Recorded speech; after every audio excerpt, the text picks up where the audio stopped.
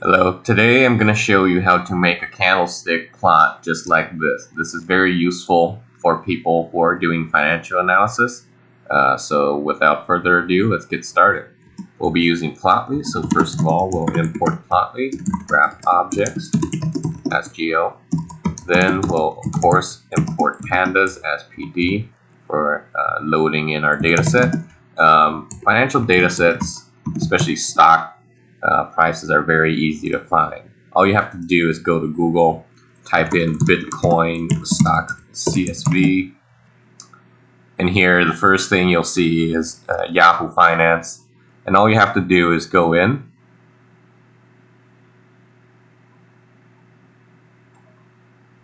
and there should be a download button around here.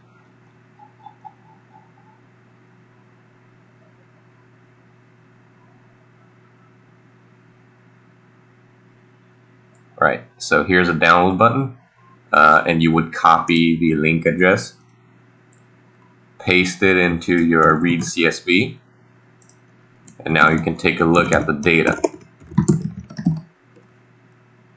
Alright, so we have the date, the open, high, low, close, all the good stuff.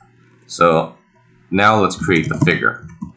You would do geo.figure, data equals to geo.candlestick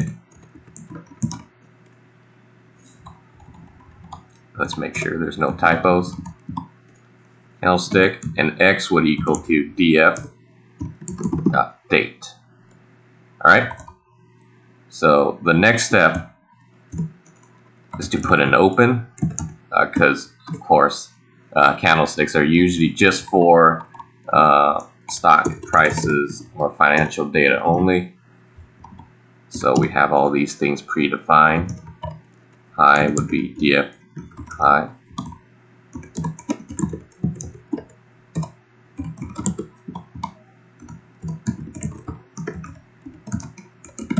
Alright, so now let's take a look at the figure.